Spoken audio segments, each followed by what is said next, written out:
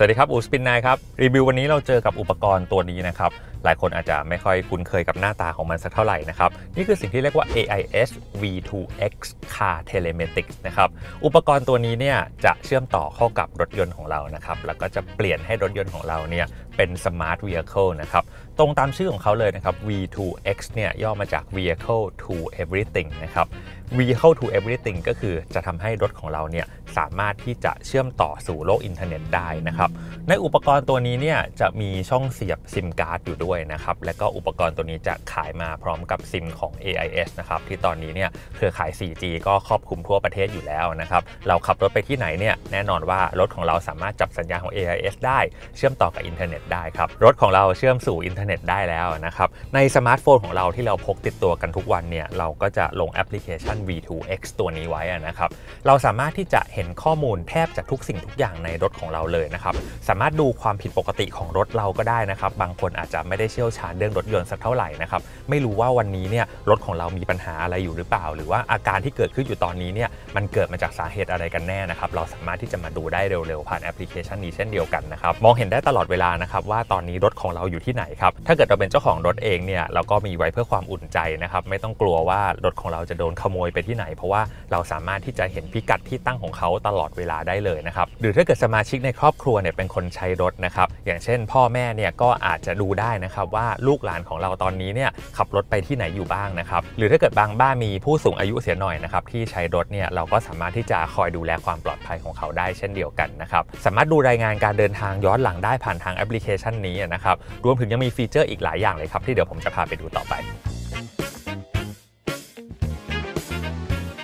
นี้เรากลับมาดูที่อุปกรณ์ตัวนี้กันอีกครั้งหนึ่งนะครับ อุปกรณ์ตัวนี้เนี่ยก็จะมีทางเครื่องรับสัญญาณ GPS นะครับที่จะคอยดูพิกัดตำแหน่งที่ตั้งนะครับ มีซิมการ์ดนะครับที่รับสัญญาณอินเทอร์เน็ตได้นะครับในการที่จะส่งหรือว่ารับข้อมูลต่างๆครับและแน่นอนว่าตัวมันเองเนี่ยเชื่อมต่อเข้าสู่พอร์ตนี้นะครับนี่คือพอร์ต OBD นะครับซึ่งถ้าเกิดใครมีความรู้เรื่องรถยนต์เนี่ยก็จะพอรู้อยู่แล้วนะครับว่ารถยนต์ในตลาดทุกคันเนี่ยก็จะมีพอร์ต OBD ตัวเนี้ยให้สามารถเชื่อมต่อได้นะครับจากภายในห้องโดยสารของตัวรถนี่แหละครับพอร์ตนี้โดยปกติแล้วเนี่ยถ้าเกิดเรานำรถเข้าศูนย์บริการนะครับ ทางศูนย์บริการก็จะมีพอร์ตนี่แหละครับมาเสียบเชื่อมต่อเข้ากับรถของเราเพื่อที่จะวิเคราะห์อาการ หรือว่าวิเคราะห์ปัญหาต่างๆนะครับดังนั้นตัวนี้เป็นพอร์ตมาตรฐานนะครับที่อยู่ในรถยนต์ทั่วๆไปในตลาดอยู่แล้ว ซื้อมาเนี่ยสามารถใช้กับรถเราได้เลย เพียงแค่เราจะต้องหาตำแหน่งของที่เสียบพอร์ต OBD ของรถเราให้เจอเท่านั้นเองครับในกรณีของรถคันนี้เนี่ยพอร์ต OBD ก็จะอยู่ใต้คอนโซลที่นั่งคนขับนี่แหละครับหลังจากเจอตำแหน่งเรียบร้อยนะครับผมก็ทำการเสียบอุปกรณ์ตัวนี้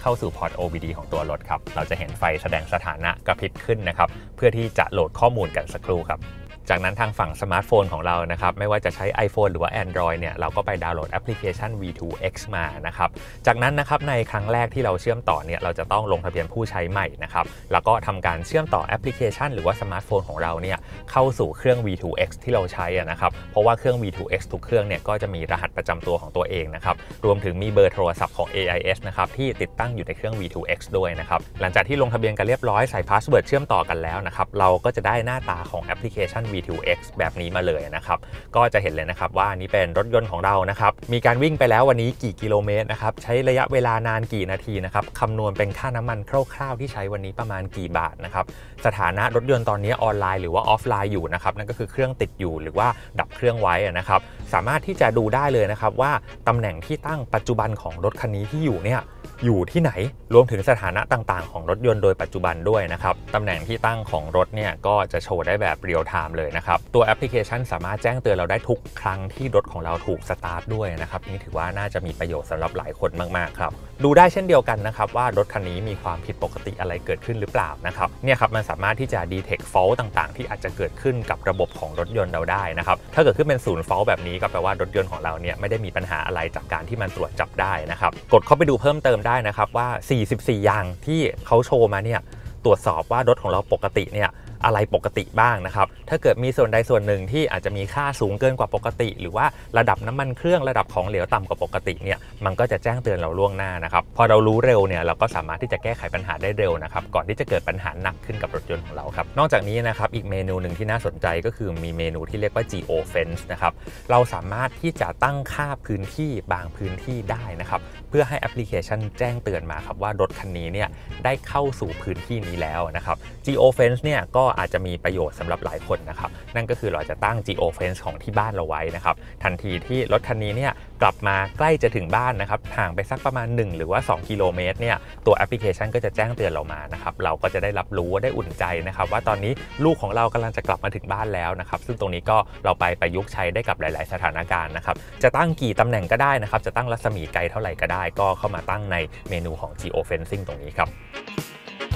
ตัวแอปพลิเคชันยังมีเมนู maintenance นะครับในการที่เราจะตั้งค่าไว้ล่วงหน้านะครับว่าให้มันแจ้งเตือนเราล่วงหน้านิดนึงนะครับก่อนที่จะถึงเวลาเข้าเช็คระยะต่างๆ ก่อนที่จะถึงเวลาต่อทะเบียน หรือว่าต่ออายุพรบนะครับแอปพลิเคชันนี้ก็จะจัดการให้เราทั้งหมด แล้วก็แจ้งเตือนเราล่วงหน้า เพื่อที่เราจะได้ไม่ลืมครับ ใน1แอปพลิเคชันเนี่ยสามารถที่จะเพิ่มรถยนต์เข้าไปได้หลายคันด้วยนะครับในกรณีที่ 1 user เนี่ยอาจจะเป็นเจ้าของรถหลายคันครับรวมถึงรถแต่ละคันเนี่ยสามารถตั้งค่าได้ด้วยนะครับว่าเราจะแชร์ข้อมูลต่างๆ เหล่านี้เนี่ย ไปให้สมาชิกในครอบครัวคนไหนบ้างครับ หรือที่ทางแอปพลิเคชันเขาเรียกว่าฟังก์ชัน Family Care นะครับ ตรงนี้ก็จะมีประโยชน์นะครับในการที่จะช่วยกันมอนิเตอร์รถคันเดียวกันได้นะครับ ตรงนี้ก็แล้วแต่เลยนะครับว่าแต่ละครอบครัวหรือว่าไลฟ์สไตล์ของแต่ละคนเนี่ยจะไปประยุกต์การตั้งค่าตรงนี้ต่างๆ ในลักษณะไหนบ้างครับ โดยรวมแล้วผมคิดว่าคุณผู้ชมน่าจะพอเห็นประโยชน์นะครับของเจ้าเครื่อง AIS V2X Car Telematic ตัวนี้นะครับ ก็ลองไปประยุกต์ใช้ดูตามแต่ละสถานการณ์ของเรานะครับว่าเราน่าจะใช้เครื่องนี้เนี่ยให้เกิดประโยชน์ได้อย่างไรบ้างนะครับ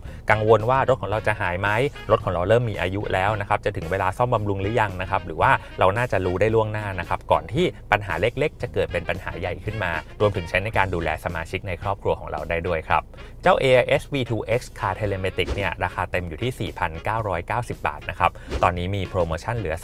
2,990 บาท เมื่อซื้อเครื่องพร้อมกับสมัครแพ็กเกจรายเดือน 99 บาท 12 รอบปินของทาง AIS ครับ และนี่ก็คือเครื่อง AIS V2X Car Telematic นะครับ คุณผู้ชมที่สนใจสามารถดูรายละเอียดเพิ่มเติมได้บนเว็บไซต์ของ AIS รวมถึงสอบถามรายละเอียดเพิ่มเติมได้ที่ AIS Shop ทุกสาขาด้วยครับ ผมอุสปินนายครับ พบกันใหม่คลิปหน้า สวัสดีครับ